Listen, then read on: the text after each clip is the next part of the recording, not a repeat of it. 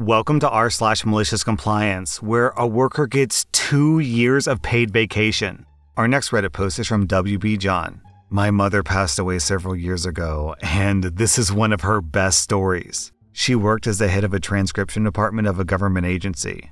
Whenever she would ask for time off, her boss would refuse. This went on for years, and her leave just accrued. One day, when she was about to turn 63 years old, she walks into her boss's office and tells him she's giving him two years' notice that she'll be retiring. He's very confused as to why she's giving so much notice. She then informed him that she's going to be on vacation for the rest of her employment because she had two years of leave accrued and she just walked out the door.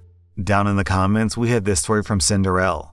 This is similar to what happened to my mom. She had worked for a hospital for decades and had amassed at least nine months of paid time off. She requested a raise, and her boss told her that he couldn't afford giving her a raise in his budget that year. So she found a better job and put in her notice. Then her boss found out that he was going to have to pay her all of her paid time off plus hire someone to replace her. Then he wanted to negotiate a raise. She told him too little, too late.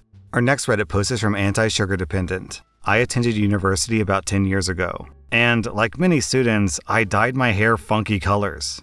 When I returned home to my summer job, I had short blue hair. My summer job was in retail working checkout. One day, my manager pulled me aside and told me their uniform policy said that I wasn't allowed to have the majority of my hair an unnatural color. I asked what a majority meant, and he said that I would be allowed to have streaks, but not my whole head dyed a new color. So I went home with a box of brown dye.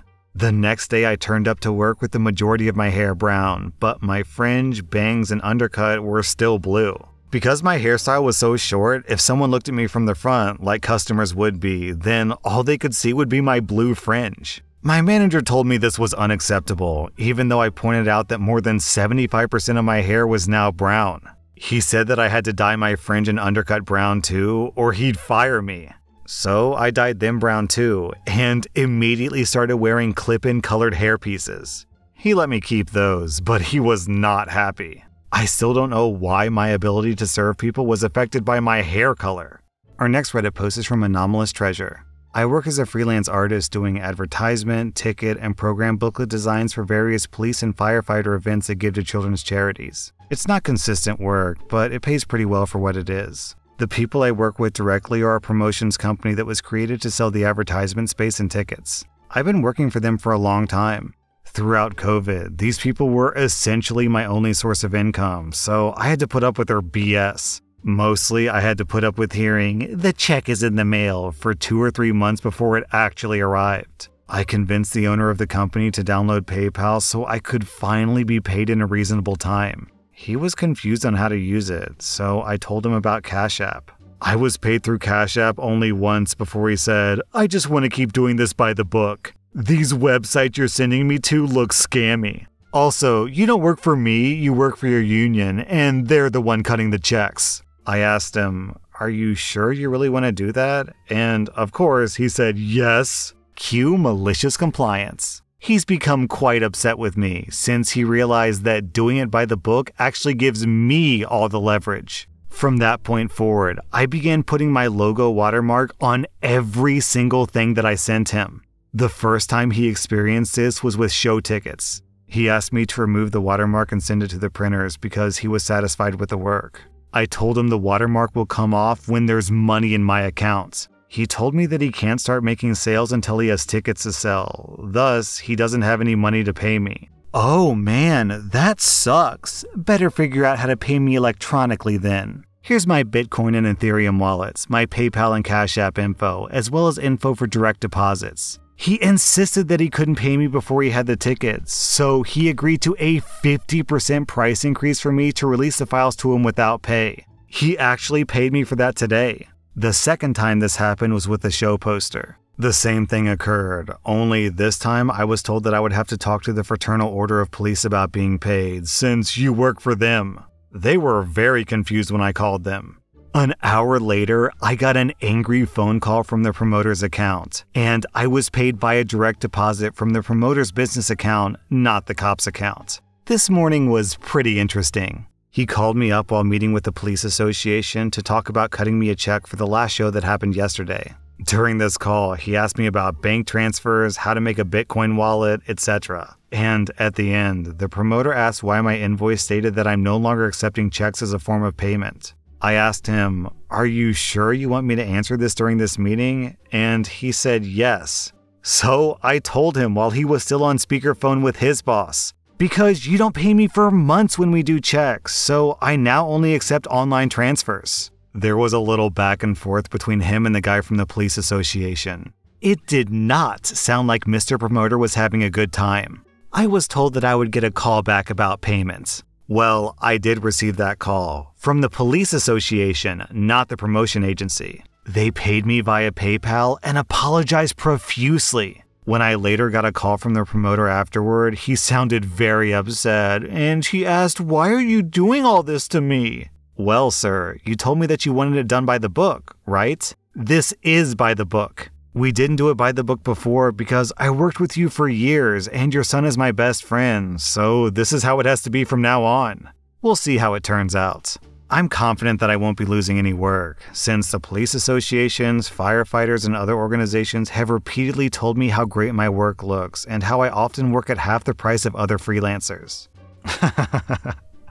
so I scroll down to the comments, and the top comment on this thread is it's coming from Astromancer, and he says, When will people learn that, are you sure you want me to answer that means you absolutely won't like the answer and you'll be embarrassed if I actually say it? Right? Like, this is what I said literally last video. That's such a red flag. Are you sure you want me to do that? Like, if I'm doing something and someone says that to me in that tone of voice, I'd be like, wait, am I sure? Maybe I'm not sure. The only the only bigger red flag is if you ask someone to do something and they say, "Sure, can I get that in writing?" Because if someone suddenly wants you to write down to do something, I'd be like, "Wait, did I just ask this guy to do something that's illegal? Am I committing a crime by asking him to do that? So honestly, I don't know how people keep falling into this trap because it seems like a really obvious red flag that just makes you think, wait, am I screwing up here? Because this guy seems really certain of something that I'm not aware of. Our next Reddit post is from Reverend Bull. I used to teach intro to college courses. They were basically freshman level classes where we'd go over study skills and campus resources and how not to drive yourself nuts it was a fun class to teach, especially for me. I love deconstructing classroom norms. I usually started every semester in street clothes with a backpack, hiding among the students and complaining about the late professor. Once, for an exam, I offered the students any resource they wanted.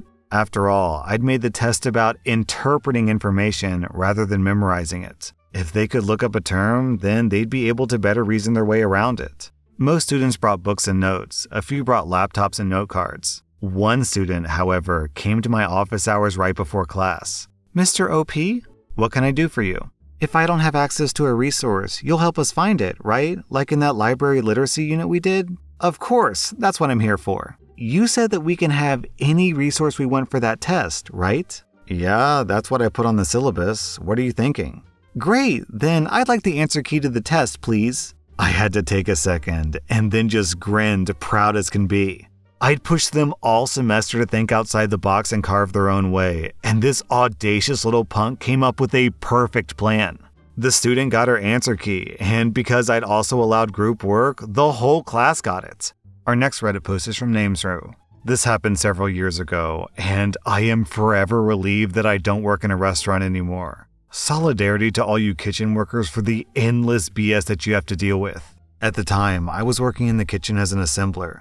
This can be one of the most clutch positions on the line because you take all the food being prepared by the other cooks and organize it into tickets that can be taken out into the dining room.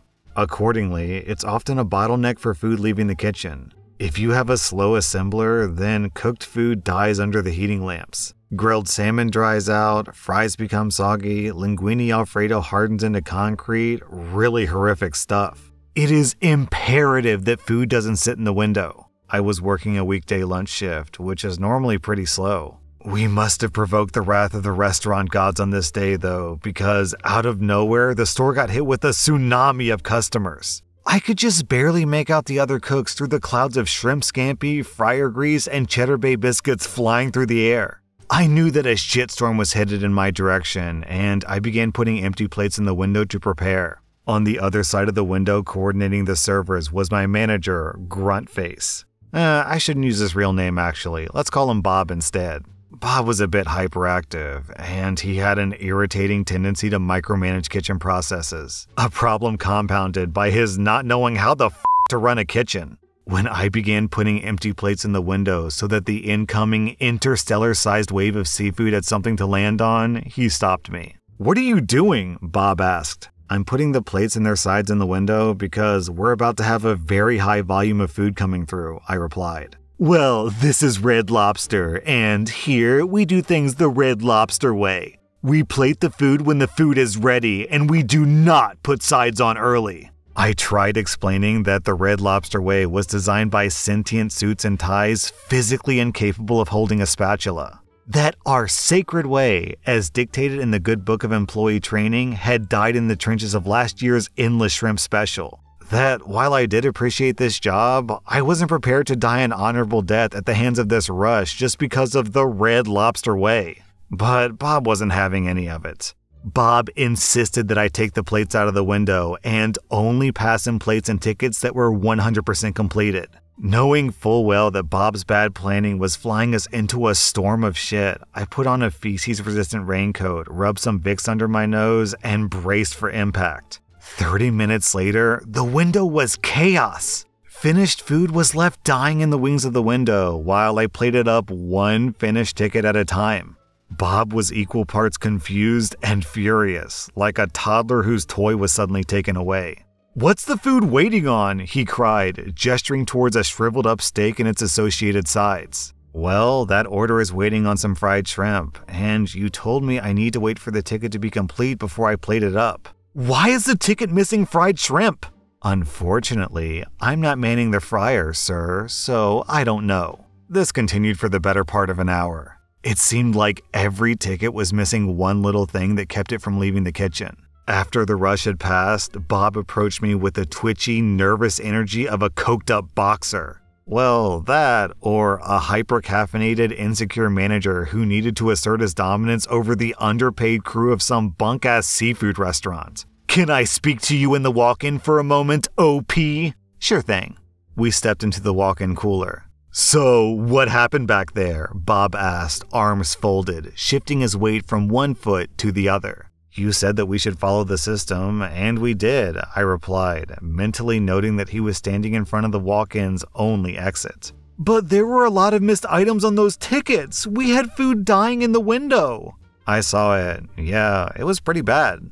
So, why was the food missing? I don't know. I wasn't cooking the food, I was assembling it. I'm the assembler. This line of questioning continued, with Bob trying to somehow pin this catastrophe of the last hour on my willingness to comply with his orders, while I blithely insisted that I did exactly what was asked of me. After not being able to move past this point for several minutes, Bob made some sweeping statement about doing better next time and left. Incidentally, the next time I was assembling and Bob was on the other side of the window, nothing was said about the Red Lobster Way, and the rush went much smoother. I guess we ended up doing better after all. OP, I'm pretty sure that the reason why he brought you into the freezer was because everyone in the front of the house was complaining to him about the slow food, and he obviously blamed the entire kitchen staff. But you were the one and only person in the entire restaurant who knew the real problem, which was this guy's stupid directive. And since he knew that you knew that he was the problem, he had to lay down the law and make sure you know that he's in charge here. That was r slash malicious compliance. And if you like this content, check out my podcast where I publish the exact same episodes. Also, hit that subscribe button because I put out new Reddit videos every single day.